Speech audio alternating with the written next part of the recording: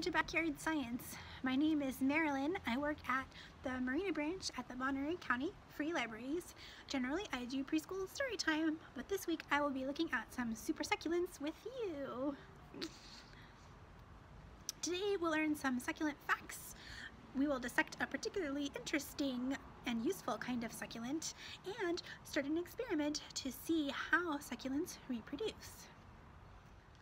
So think about when you've seen a cactus, whether it's in real life or in a TV show or movie, maybe you have gotten a sunburn and rubbed some aloe vera on, on it to make it feel better. Maybe you've even eaten some nopales or prickly pear, which are a big part of Mexican cuisine. All of these things have one thing in common, and it's that they are considered succulents. Succulent comes from the Latin word succus, which means juice or sap. Maybe you've had a succulent or juicy piece of meat or fruit, but in this case, succulent refers to a broad grouping of plants across many different plant families with special characteristics that help them survive in areas with very little water. Some of these succulent adaptations that allow them to survive in these areas are absent or highly modified leaves, waxy or fuzzy leaves to maintain moisture inside the plant. They also have special pores or stomata which open at different times. Generally plants need CO2 to photosynthesize, which they combine with the sun for energy but many succulents have adaptations that allow them to open their stomata at night and absorb CO2 then, and then close it during the day so that they don't lose moisture. And then the CO2 that they've stored allows them to photosynthesize with the sun. Um, they can also photosynthesize through their stems and not just their leaves, like many other kinds of trees.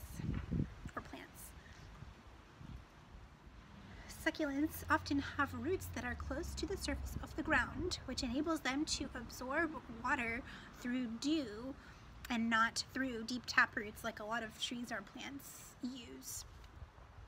Succulents don't wilt at high temperatures, which enables them to hang on to water even when it gets very hot. Also, many succulents have high concentrations of mucilage, which is a gluey, sticky substance that stores water and food for the plant and in some cases can help with seed germination. Some cactus species have a very high mucilage concentration and some of them can even survive for up to two years with, without water.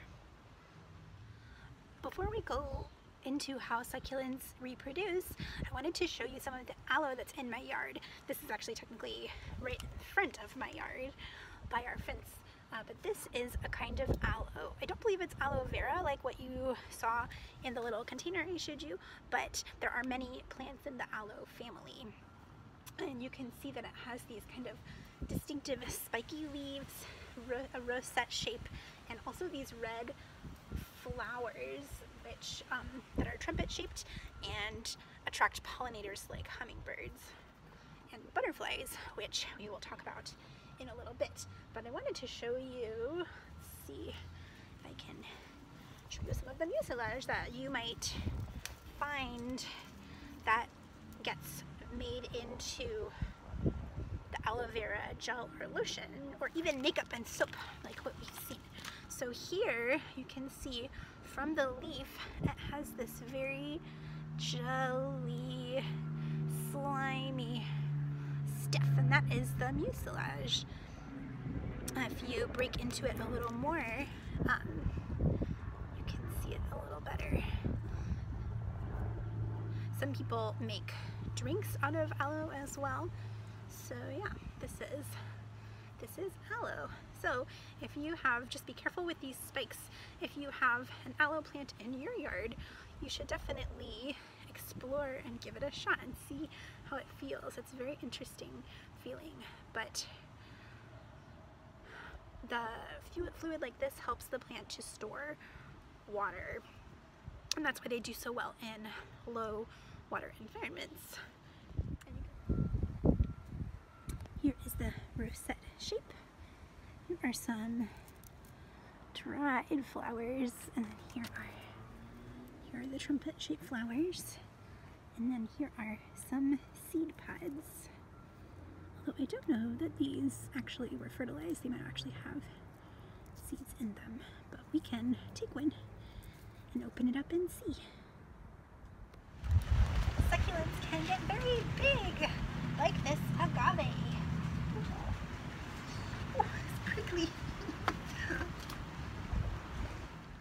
Here is another diverse group of succulents.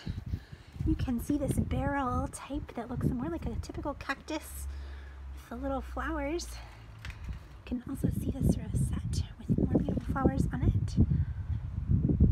Again, rosette is just the kind of the form that it's called. So as you can see, there is a lot of variation.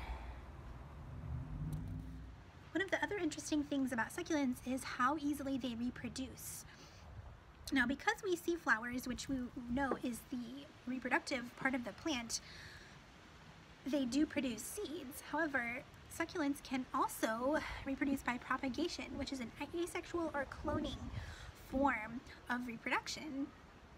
In propagation, the succulents when the leaf falls off or if, um, or if a whole rosette comes away, they can actually root and grow a whole new plant. I wanted to grow or propagate more succulents from some of the leaves of the succulents in my yard. So five days ago, I plucked off some leaves and laid them out. Take a look. This is after five days and you can see for instance on this one there's a little hard part, that's the callus that's starting to seal over where I broke the leaves off so that they will start to root and some of them may not have broken off well enough to root but I will keep you up to date as they grow.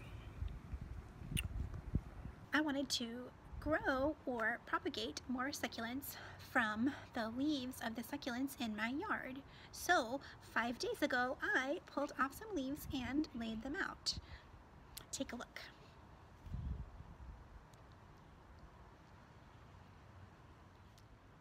When a leaf falls off, it forms a callus, which shields the plant from bacteria growth as it's trying to reroot and it helps the plant to dry out as it's giving its nutrients to the new growth. You can try this yourself. Use your fingernail or a knife or scissors to sever the leaf or rosette of, or you know, the rosette with a stem from a succulent and either dry it out on, as you saw on the towel to root it or set it on spe special succulent soil that drains really well.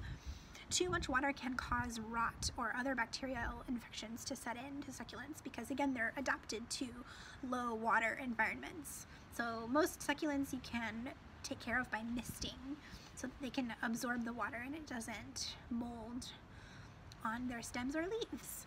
Um, you can experiment with different species and different environments, like such as less or more sun, or different kinds of soil to see how succulents in your area grow. Now that we know some basic succulent characteristics, why are there so many here in California?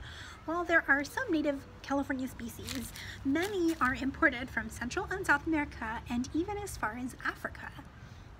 This is because with droughts and our water conservation issues here in California, many people have switched from grass lawns that require a lot of watering and often replanting to succulents that are long-lived and don't need as much water, which saves water, time, and money. Now, because succulents have evolved to exploit their environment to propagate very well, they can take over. Some of them grow fairly rapidly. A negative example of this is ice plant, which you might have heard about. It has kind of almost like almost daisy-like yellow and pink flowers. It's really pretty to look at, but it forms these carpets and it's invasive, so there are, are no real natural ways for it to be eradicated, so it can choke out native plant populations. So that's an example of a succulent that has taken over a little bit. So if you have a choice with succulents that you get in your yard, it's good to try to get native species that attract pollinators that are around here, like hummingbirds and butterflies.